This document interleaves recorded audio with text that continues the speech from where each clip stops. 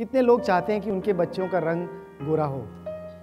सभी चाहते हैं। और भारत में तो थोड़ा ज़्यादा चाहते हैं। और मैं इसलिए कहानी सुना रहा था कि आज हमारे पास ये तकनीक है, जिससे जब आपका बच्चा एक अंश का हो, एक या दो अंश नहीं, क्या बोलेंगे उसको, सेल, कोशिका का हो, तब उसके अंदर वो आप जाइए किसी दुकान में, ऐसे ऐसे दिन आने वाले हैं, और इस टेक्नोलॉजी को क्रिस्पर टेक्नोलॉजी बोलते हैं।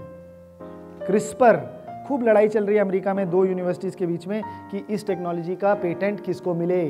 बर्कली को मिले कि एमआईटी को मिले? कि एक और यूनिवर्सिटी है, उसको मिले? और एक महिला ने जेनिफर डूडना नाम की बहुत ही प्रखर और कर्मठ महिला है, वैज्ञानिक।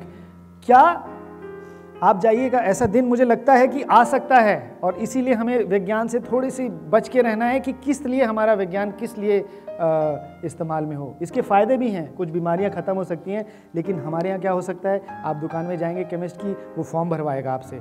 क्या चाहिए? लाल रंग? नहीं, नीला रंग ठीक, टिक।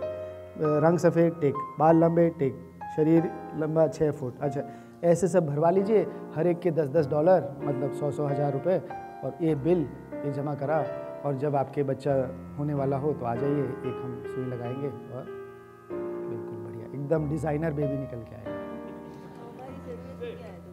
बिल्कुल ऐसा निकल के आएगा जो जो आपने स्पेसिफिकेशन डाले थे ना वो मशीन में, बिल्कुल वैसे ही आएगा। क्योंकि ऐसी उसमें तकनीक हमने ईजाद कर ली है, जिसमें वो बिल्कुल एग्जैक्ट जो हमारा जेनेटिक कोड है जीन्स है, उसमें सही जगह से काटना पड़ेगा। तो काले आँख वाली काट के नीले आँख वाली घुसा देंगे तो नीली आ जाएगी। और काले रंग वाला हटा के सफ़ेद रंग डाल देंगे। ऐसी तकनीक है।